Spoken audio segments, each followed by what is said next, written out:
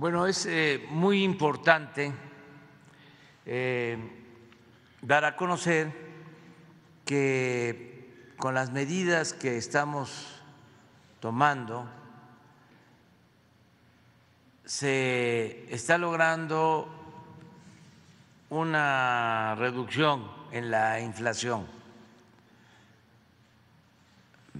Poco, pero ya no está creciendo. Hoy, eh, como lo hace el INEGI, cada 15 días a las 6 de la mañana se da a conocer el dato de inflación de eh, la primera quincena de octubre y ya este, tenemos eh, una inflación anual de 8.5, estábamos en 8.8 la anualizada, es decir, va bajando. Y esto eh, seguramente, aunque todavía no he visto el comportamiento sobre los componentes en energéticos, en alimentos y en otros bienes, seguramente ya hay una disminución en alimentos o se detuvo el incremento de los precios. Ah, aquí está. Aquí está. Este, así estamos ahora.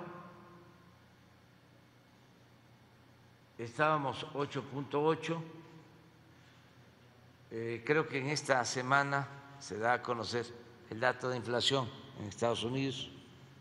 Este es el anterior de septiembre, también de septiembre de, Europa.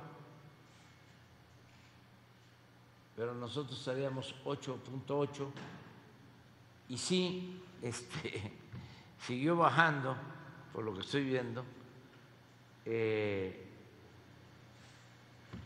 el sector energético, es decir, eh, productos del sector energético eh, han ido a la baja. Esto porque no ha aumentado el precio de las gasolinas y del diésel y está 0.4 y eh, traemos 4.3 en alimentos, que es ahí donde estamos trabajando, pero eh, estábamos en cuanto, la anterior de alimentos, a ver si no tienen la, la anterior, yo creo que igual.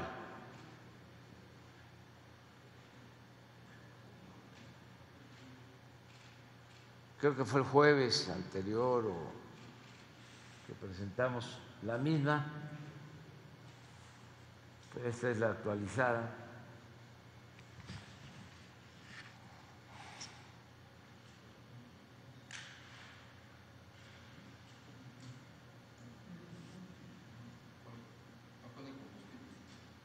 Sí, bajó en combustible y en alimentos. 4.1 subió dos puntos.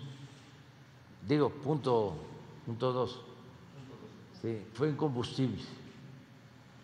Vamos a, a seguir este, buscando que baje de, de 8.7 a 8.5, ¿no? Fue lo que se redujo. De todas formas, estoy seguro de que en el caso de alimentos va a bajar eh, por el acuerdo que tenemos con productores, distribuidores. Se firmó un acuerdo para que la canasta básica de 24 productos se venda en 1038, 1039 pesos. Y si vemos los precios en la mayoría de los casos está abajo o no supera los 1039. Ponemos la de Ricardo.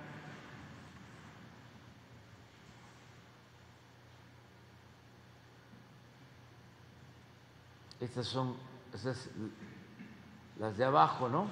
Sí, es el promedio bajo. El promedio bajo y el promedio alto. Pero ya estamos, por ejemplo, Soriana está cumpliendo, Chedraui está cumpliendo, Walmart está cumpliendo con los compromisos. En el caso de Walmart se firmó un acuerdo especial, o sea, eh, llegó a un acuerdo para que eh, ellos a la entrada de todas sus tiendas